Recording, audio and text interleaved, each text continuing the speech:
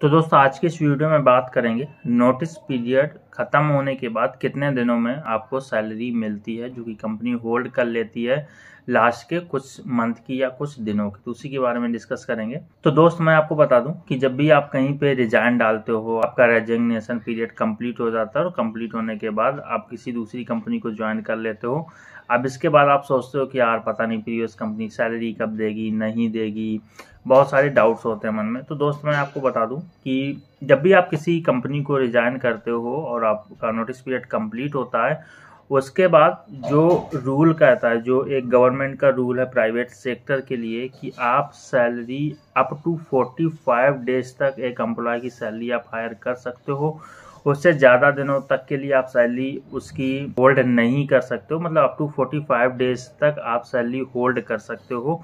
Higher नहीं, hold होता है वो। तो अब मैक्स 45 डेज़ तक सैलरी को होल्ड कर सकते हो। 45 दिन या 45 दिन के अंदर आपको सैलरी रिलीज़ करनी होगी, कोई भी वो एम्प्लॉय हो प्राइवेट सेक्टर का। अभी मैं यहाँ पे बात करूँ अगर गवर्नमेंट सेक्टर में जो पीएसयू सेक्टर होते हैं बेसिकली तो उनका एक अपना अलग अलग क्राइटेरिया होता है। या आप गूगल पे सर्च करोगे तो मिल जाएगा वहाँ पे। अभी मैं बात करूँ आपको एक स्मॉल ऑर्गेनाइजेशन के बारे में, जहाँ पे पाँच, दस या पंद्रह, बीस, पच्चीस एम्प्लॉय होते हैं, जहाँ पे पीएफ आपका नहीं कट रहा है या आप कटवा नहीं रहे हो। देखो पीएफ दो तरीके से होता है। कई जो एम कंपनी भी होते हैं तो वहाँ पे आप पीएफ जब एक आप मैक्स सैलरी पे पहुँच जाते हो तो आप पीएफ का रिडक्शन करवा भी सकते हो, नहीं भी करवा सकते हो। लेकिन अभी मैं बात कर रहा हूँ, जिस कंपनी में पीएफ का ऑप्शन ही नहीं है।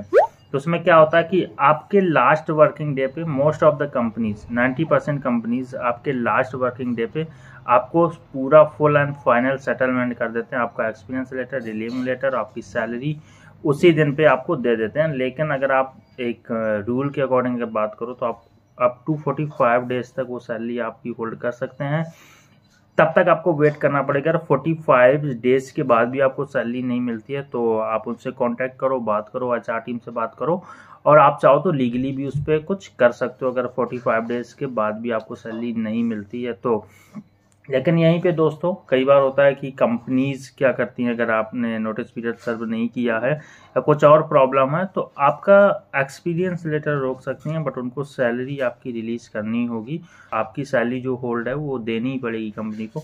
एक्सपीरियंस लेटर में कई बार पंगा हो जाता है। सपोज़ आपने आ, अपना रेजिग्नेशन पीरियड कंप्लीट नहीं किया है नोटिस पीरियड सर्व नहीं किया है तो उस केस में वो आपका एक्सपीरियंस लेटर वगैरह होल्ड कर सकती हैं।